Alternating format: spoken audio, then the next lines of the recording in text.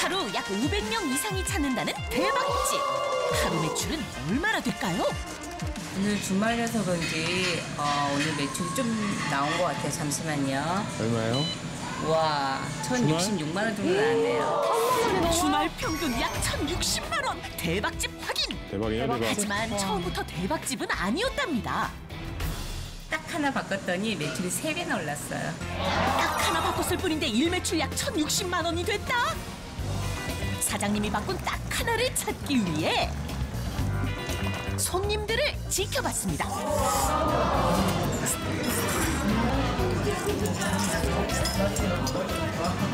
면이 좀 독특하네요. 그러니까 면이요? 예, 예. 어, 면이 뭔가 어떤 좀 미끈하면서 색깔이 외형상 좀 갈색이고 어, 또 밀가루 맛, 맛이나 향도 없고요.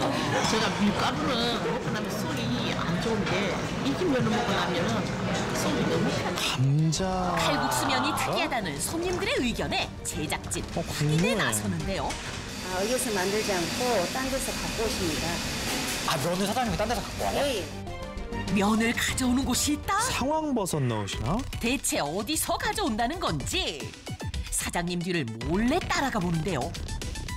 가게 옆 건물로 들어가십니다. 음. 그 뒤를 곧장 따라 들어가 보는데요. 어. 사장님 손에 들린 건 면이 다름 아닌 면인데요? 칼국수 면?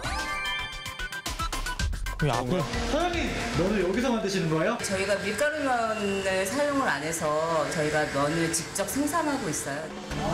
밀가루 없이 면을 만들 수 밀가루 있나요? 아니에요? 장당콩, 보리, 현미, 귀리, 상황버섯 다섯 가지로 만들었고요. 처음으로 들어가네요. 밀가루와 이거 글루텐, 어떤 상황이지? 방부제, 소금 엄청 없이 귀한 거네요. 다섯 가지 무슨 국물 상황이에요, 가루로만 이거? 면을 만들기 때문에 소화가 잘 된다는데요. 다섯 가지 재료 모두 찰기가 없기 때문에 사장님만의 비법이 필요하답니다. 근데 이건 정말 먼저 대단한 묵게 간 가루를 기계에 넣고 소화도 잘 되고 몸에 섞은 너무 뒤 좋겠네요. 대단한 정성이에요. 약 이거는. 120도 고온에서 압축시켜 쫄깃한 면으로 뽑아내는데요.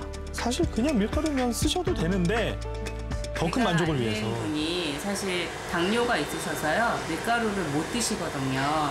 그분이 드실 수 있는 어, 면을 생각을 하다 보니까 뭐 보리나 현미나 장당콩 예, 이런 걸로 해서 저희가 면을 만들게 됐어요.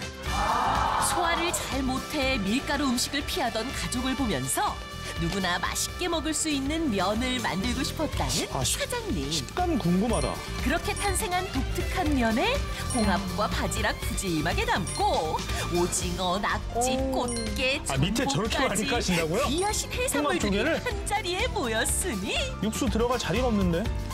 해물 칼국수 등장요.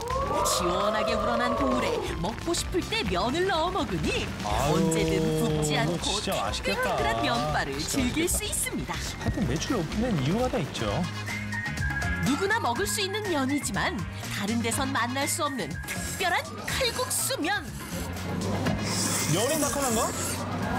이 면 아닐까요? 밀가루가 아니라 이제 장당콩이나 현미 이제 그런 게 들어가다 보니까 이게 고소하고 이제 쫄깃쫄깃하고 이제 면발도 탱글탱글한 게 아 정말 막 좋아요.